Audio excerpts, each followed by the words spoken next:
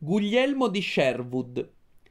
Della vita di Guglielmo di Sherwood, logico inglese del XIII secolo, sappiamo relativamente poco. Tra il 1235 e il 1250 lo troviamo operativo come Magister Artium a Parigi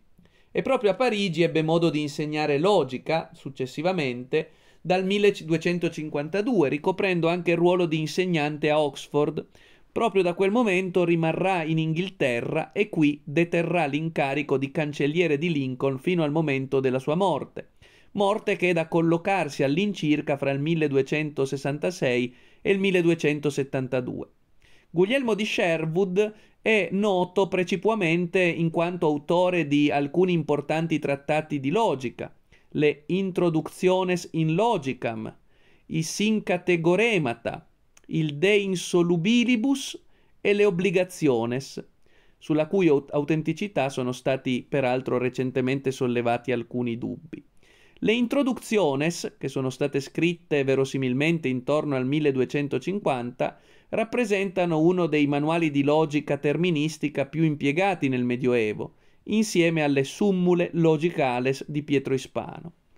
Questi trattati sono attraversati da una robusta preoccupazione verso l'insegnamento della logica nelle scuole, che si riflette poi in una sistematizzazione precisa del materiale presentato e nella tendenza ad analizzare in maniera approfondita le regole formali del discorso che presiedono alla formulazione di propositiones e di argumentationes.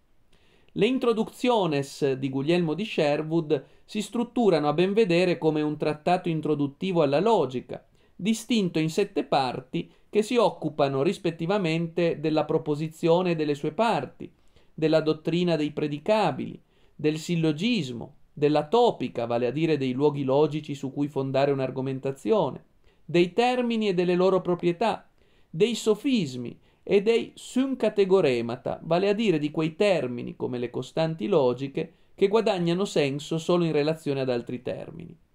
Mentre le prime quattro parti riprendono le idee alla base dell'organon aristotelico che formavano la logica vetus, la quinta parte introduce la dottrina delle proprietà dei termini, i quali termini sono intesi come soggetto o predicato di un enunciato,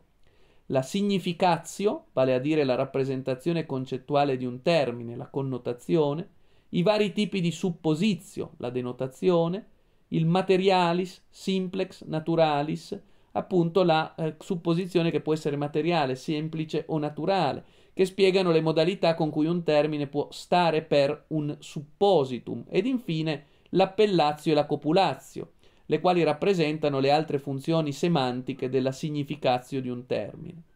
Proprio per via del rilievo di queste problematiche connesse alle proprietà dei termini all'interno dell'opera, questo tipo di logica sarà chiamata terministica.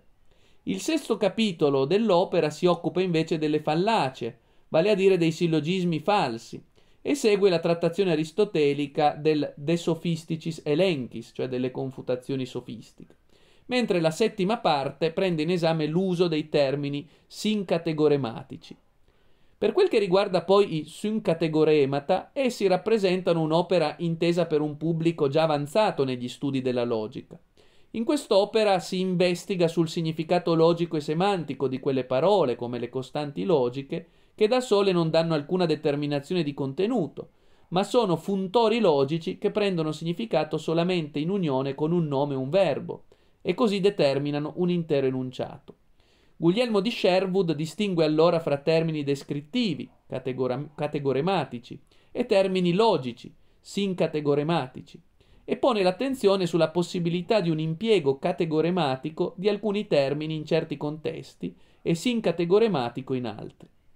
Per quel che riguarda il De insolubilibus, infine, ci si occupa dei paradossi logici in quest'opera, come quelli connessi ai problemi di autoreferenzialità, ad esempio il noto paradosso dei mentitori, e ci si occupa anche dei modi possibili di affrontarli e di risolverli.